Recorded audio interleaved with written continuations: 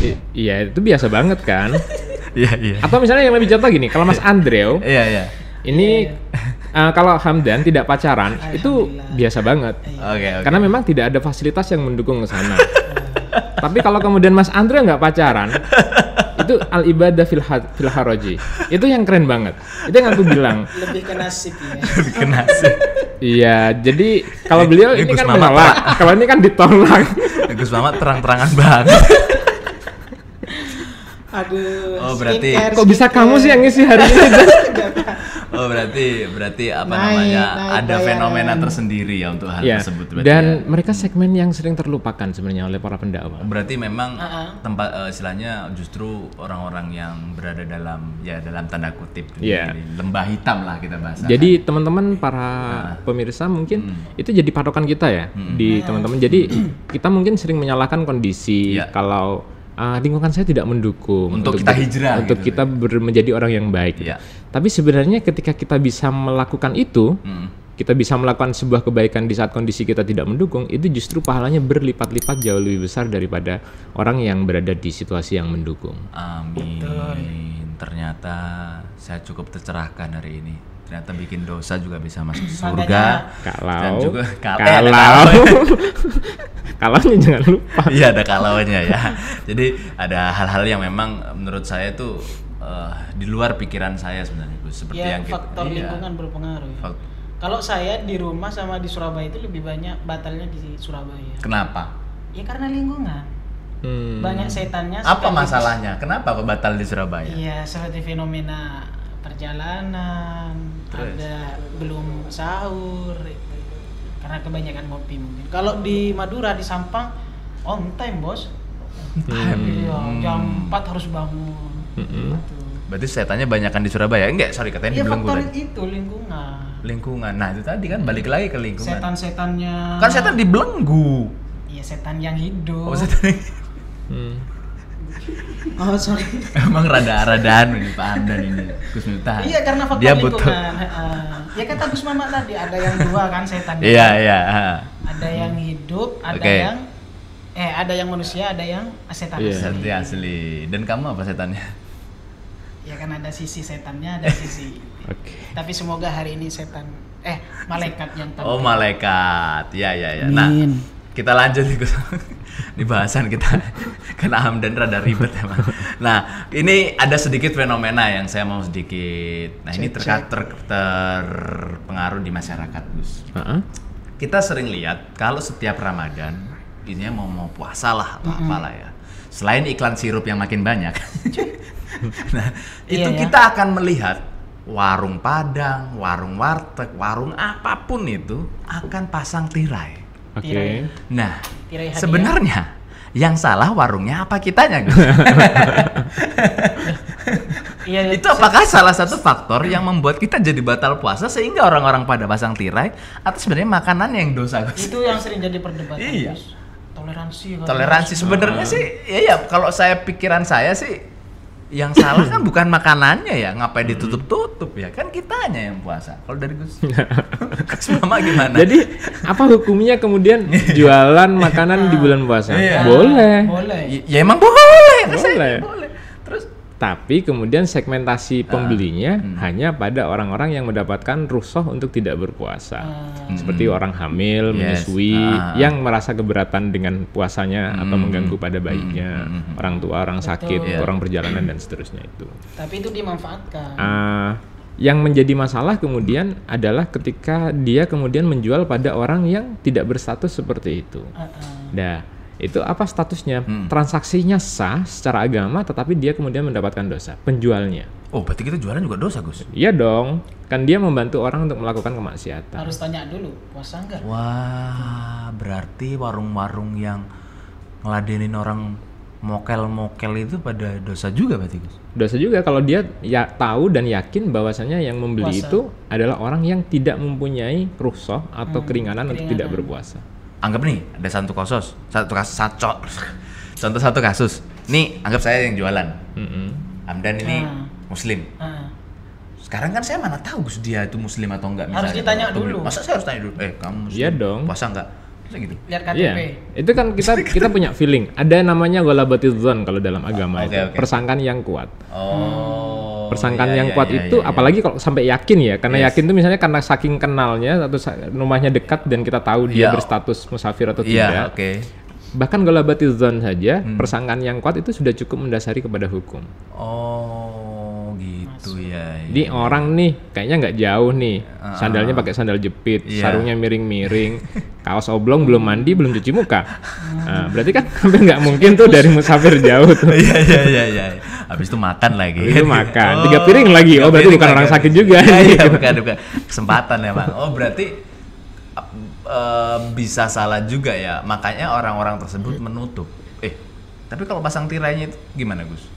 Pasang tirai itu pada segmentasi pada sisi yang lain adalah untuk tidak menarik bagi orang-orang yang ini. Itu oke pada sisi itunya. Tapi pada sisi transaksinya pun sebenarnya dia bermasalah. Hmm, Ketika dia menjual pada orang yang dia yakini atau dia kod persangkaannya menjadi Iya, iya. tidak termasuk itu. Oh, berarti dia memang berarti kita kalau jualan waktu puasa, misalnya kita kejualan ke non muslim gak ada masalah ya kalau memang non muslim kan Iya. tidak tidak muslim gitu. Tapi kalau untuk kita yang kenal, kita tahu dia muslim, kita tahu dia apa namanya eh, harusnya berpuasa, kita malah nerima dia beli makanan kita, kita dosa juga. Ada berarti. dosa juga. Wah, Itu sama dengan uh, kita membantu kejahatan. Hmm. Misalnya kita kita nggak nggak menjual pisau atau pistol pada orang yang membunuh orang lain misalnya. Oh itu iya. sama dong dapat dosa. Iya ya, jadi lumayan dalam juga ya Gus ya. Jadi kalau bicara itu kan itu tapi kan makanya saya dulu sering penasaran ya, Dan ya. kalau juga di mungkin kalau kita waktu apa puasa pasti kan kenapa sih pada tuh itu kan makanannya nggak dosa gitu. Ternyata kayak gitu ya. Gus. Ya, itu indahnya Islam sebenarnya untuk kemudian ketika dibalik Iya. kita ketika kita memfasilitasi sebuah kebaikan, kita juga bisa dapat pahala gitu. Hmm, Kayak Mas iya, Andre nih mau iya. curhat nih di sini terus kemudian ada yang terinsight Iya. dengan jawaban itu, Iya, ah, iya, itu, iya, iya. itu pahala banget. Mungkin yang tersesat di luar sana juga bisa, oh ternyata begini gitu ya Gus ya. Oke Gus, saya mau lanjut ke pertanyaan selanjutnya. Yang ini lumayan eh, lebih ke dalam ke masalah membatalkan puasa. Sebenarnya golongan-golongan yang boleh tidak puasa ataupun yang wajib puasa sebaliknya itu seperti apa sih Gus? Kalau dari Gus Mama? Golongan yang boleh nggak puasa itu ad- ada ber- beberapa sih mas. hmm. Ah, satu yang pasti orang ah, orang yang musafir nih, Oke. dia dapat rusak. Hmm. Uhilal lakum lakum Hmm, hmm. Ah, terus yang orang tua yang ketika atau orang bukan hanya orang tua, orang yang ketika dia berpuasa Oke. maka kondisi fisiknya menjadi drop, baik itu sakit, baik Hmm. itu tua, Oke. baik itu rentah dan sebagainya. Itu boleh juga nggak puasa. Oke. Terus ah, ibu hamil dan menyusui. Oh. Selama yang disusui itu bukan suaminya atau apalagi suami tetangga nih gitu. Eh, anaknya maksudnya. susah juga kalau nyusuin suami Nah, tetangga. Saya harus mendefinisikan hukum secara jelas kan, Betul, biar betul. biar Jangan tidak terjadi salah itu tidak salah, Tidak itu tidak salah. salah. Yang salah pikiran kita. Ya. Yang salah Jadi pikiran kita. ibu hamil dan ibu menyusui. Nah, kalau bapak menyusui itu enggak bisa. Bab, oh, jelas. Kamu Suaminya. Iya, kamu menyusui siapa gitu enggak bisa. Oh, iya. dia emang nggak punya susu. Gus. Oke. Oke, saya lanjutkan. Terus ah, ah, itu terus apa lagi? Ah, Orang punya hutang bukan. bukan orang orang orang orang puas ah, siapa lagi ya? Dia nggak fokus kan Gus sama Iya. kamu orang punya hutang. Jadi Ya, orang kan sakit, beban orang juga. musafir, Ah. orang tua ren- orang yang sakitnya kemudian menjadi lebih buruk, orang Oke. hamil dan menyusui. Oke. Ah, itu itu dia dia boleh tidak berpuasa. Boleh tidak berpuasa. Nah, bagaimana kemudian kalau kemudian ah, apa konsekuensinya kalau Hmm. yang udurnya kemudian hilang, misalnya karena hamil menyusui Hmm, hmm. atau karena sakit atau karena musafir, udurnya hilang, Hmm. dia kemudian ah, wajib mengganti. Oh. Ha- oh, haid dan nifas ya, satu Haid lagi dan haid dan nifas. nifas. Udurnya Oh. hilang maka dia wajib mengganti. Wajib mengganti berarti. Kapan ya? dia mengganti? Setelah memasuki bulan Syawal sampai pada seterusnya. Oh. Tapi kalau sudah nyampe ke Ramadan berikutnya dia kena denda satu fidyah. Oh, ada denda tadi ya. Iya. Oh, Bunga. bunga. Eh, bu- Bukan bunga. Satu Iya. satu mood ya. Ya satu mood. Ya, ya. ya. Nanti ditulis di sini satu mood berapa. Satu. Satu mood itu sama dengan kira-kira ada yang berbeda pendapat sih, tapi kita kita ambil aman di 750 gram. dikit ya. Iya iya iya. Paling tujuh ribu, lima ribu. Ya itulah bisa dia nanti kan siapa tahu itu kalau di dirimu naik. maulitan aja udah selesai itu. Satu kampung dikasih makan kan. Satu bulan selesai. ini nih ngomong-ngomong soal eh, menyusui sempat tadi juga nyinggung menyus jangan nyusuin suami tetangga. Nah ini bahasanya agak sedikit ya beda ya. Ya kan nah, jelas ini, itu. nah, ini ada yang udah jo- ada yang jomblo ada yang udah nikah. Saya udah nikah. Oh udah nikah. Berapa istrinya? Masih satu Gus. Masih ada tiga dong Saya juga doanya, Gus. kamu belum nikah Belum. oke Doanya. mau saya carikan Sudah ada. Waduh, oh ya, makanya eh yang di kosan kemarin Weh. Bukan. Aku Sekarang ikut kerja TikTok. sekerja di rumah. Fokus eh, ini karir. puasa ini puasa Mbak kapan? Iya, jangan main banyak-banyak ya. jangan main banyak banyak Main maksudnya main keluar capek, nanti haus jadi batal Ah, gitu. betul. Luas sekali ya pemikirannya. kenapa nggak dinikah aja dapat pahala oke Ih, Ini masih kumpulin, Gus. Masih nabung, Gus. jangan selalu sering dikumpulin kalau belum nikah iya. nah, Oke, itu terus, terus, terus. ya, dikumpulin. hanya hanya orang-orang berakil tinggi yang paham. Paham kok. Nah, jadi, jadi maksud saya itu kan ada nih kita buat nikah nih. Aduh Gus, waktu puasa, aduh ngelihat istri, aduh udah pusing tujuh keliling Gus. Memang otaknya. ini kalau kita nih sebagai seorang suami ngelihat istri pada saat puasa, wah ini Gus susah kadang ngontrol Gus. Nggak ikut-ikutan. terutama saya. mantan baru nih ya kan atau Iya. mantan masih berapa tahun Apalagi lah yang baru nikah. I- ini- aduh. yang masih pandangan hidup kan Iya, dipandang itu- aja itu hidup gitu Melatih di mana-mana. Iya. Itu aduh. Ini bukan segmen Wangi saya. semerbak itu di mana-mana. Apalagi Iya, tuh iya, dia iya, tempat iya. tidur putih bersih. Ah, itu Kok curhat? Oke. Jadi eh, Mas Andre itu sebenarnya ketika kita sudah nggak kuat karena menginginkan, jadi itu menjadi sebab dari batalnya puasa juga. Nah, jadi batal puasa itu yang terkait seksual ada dua nih. Ada satu eh, karena persetubuhan, Oke. baik Hubungan eh, badan suami hubungan istri ya? badan, Oke. eh, hubungan badan. Tidak tidak harus suami istri itu Oh, tetap iya. batal Oh, juga, iya sih. tetap batal juga. Iya, apalagi yang bukan suami istri ya. Aduh, Oke. tambah parah sebenarnya. Gimana lanjut? Ah, Oke, oke. Terus yang kedua dia uh, keluar mani, Oke. baik karena uh, keluar mani secara sengaja. Oke. Ah, Contoh, eh contoh. Jangan contohin lah. Ya. Oke. Iya ya betul. Udah, udah. Lanjut, ah, Gus. tapi perbedaannya kemudian keluar mani secara sengaja Oke. dengan apa namanya persetubuhan Oke. ini Hmm yang menjadi sebab batalnya puasa mm-hmm ini hukumannya berbeda-beda. Kalau yang berbasis persetubuhan, maka dia selain mengganti satu hari, okay. dia mempunyai kafarat. Kafaratnya itu berturut-turut membebaskan budak atau oh, berpuasa. Iya iya iya iya iya iya. Ya, ya. ya. atau, atau berpuasa dua bulan berturut-turut yang tidak boleh putus. Hmm. Berat banget ya. Waduh. Kita puasa satu bulan aja berturut-turut. Bulan aja udah stres apalagi dua bulan. dua bulan berturut-turut atau memberi makan uh, setara 60 sok. Berarti sebulan harus pi- pisah ranjang sama 60, istri. ya. Wah, Uh, di siang hari. Oh, iya berarti Oh, Tapi gimana nih kalau misalnya udah udah banget? Kalau bukannya seperti itu, buka Boleh. puasa boleh. Uh, aku nggak menerima pertanyaan dari yang bukan expert ya. Oh iya, bukan segmen saya. gimana gue? Mas Andre. Oh, ya sudah maaf dan maaf dan. Oh, deh. Jadi Iya. boleh dong berbuka puasa dengan itu. Kan berbuka puasa dengan yang manis-manis katanya kan. Oh, ya, dengan yang legit-legit apa lagi? Oh, berarti kalau udah waktunya Allah Akbar, Allah Akbar, wow gitu. Ya, maghrib. Kalau asar belum.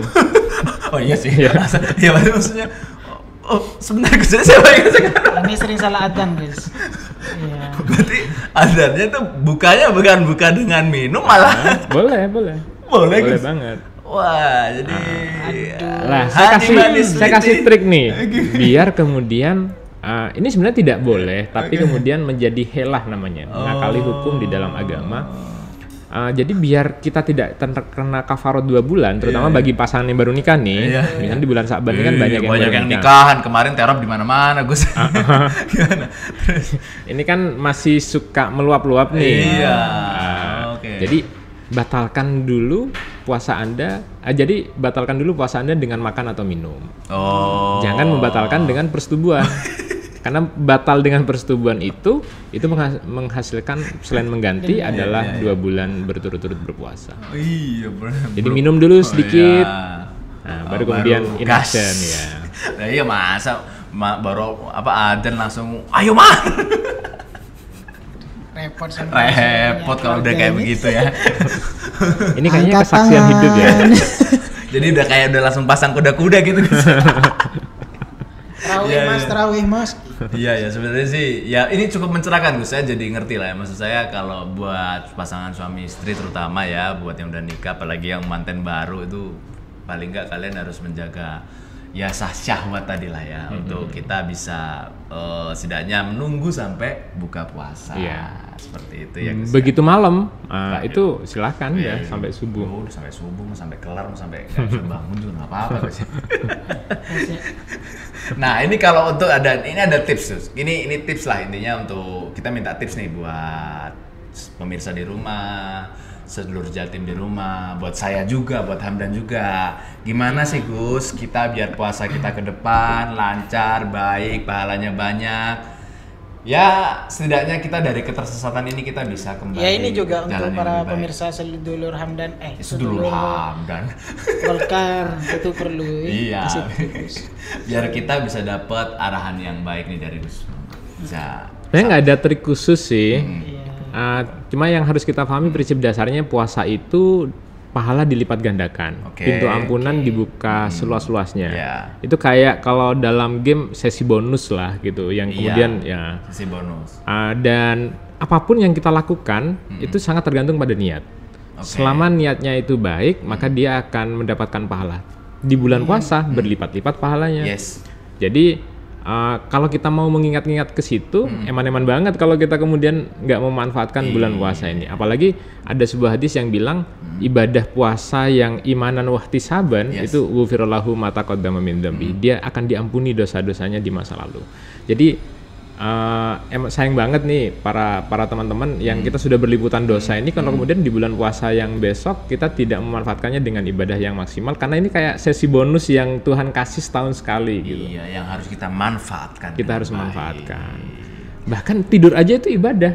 Nah ini. Meskipun itu sebenarnya adalah majas untuk bilang kalau tidur aja ibadah, apalagi baca Quran, Iya, apalagi ini. gitu. itu Istilahnya hanya majas ya. Gus, Ya. Dan secara umum, Mas Andre, uh, saya bisa tambahkan Iya. bisa kita pakai rumusan tadi. Jadi satu perilaku kebaikan kita niati dengan multi. Oh iya multi tadi. Jadi banyak banget yang udah disampaikan Puasa ya. untuk ikut perintah Tuhan, Iya. jaga kesehatan, Siap. menjaga syahwat misalnya. Itu satu bahkan satu ke- dapat tiga kebaikan gitu. Kita ngasih mak uh, ngasih zakat sambil berbagi, Iya, sambil iya. nah, itu. Siap siap siap. Mas. Andre, Ya. kapan-kapan kita buka bersama dengan Gus Mamat? Oh siap itu harus. Buka bersama di maghrib kan, bukan di Iya, zuhur. Bukan. Ya nanti kita agendain lah, kita agendain Gus Mama untuk kita buka bareng yang bayarin. Tapi siapa Dan? Masa kita sama Gus Mama? Gampang kalau itu. Iya loh, kamu nih. Selama kartu kredit masih diterima. Oke oke. Ya jadi segitu aja ya sedulur Jatim. Iya. Ah, pertemuan kita dengan Gus Mama hari ini sangat-sangat menginspirasi. Amin. Thank you Gus Mama for coming to studio Golkar Jatim TV yang keren ini. Terima kasih semua arah-arahannya. Semua petua-petuahnya walaupun kita tadi masih sedikit agak ngeleor ke kanan ke kiri tapi saya yakin pemirsa semuanya di rumah, sedulur jatim di rumah saya yakin mendapatkan manfaat ya. Eh, istilahnya semoga kita semua lebih baik nanti menjalani Ramadan kita di tahun ini 2021. Mantap. Nah, akhir kata dari saya Andre. Saya Muhammad Maafi. Saya Hamdan. Sampai jumpa di video-video selanjutnya. Jangan lupa like, comment, dan subscribe YouTube Golkar Jatim TV. Betul. And bye. Assalamualaikum. Assalamualaikum warahmatullahi wabarakatuh.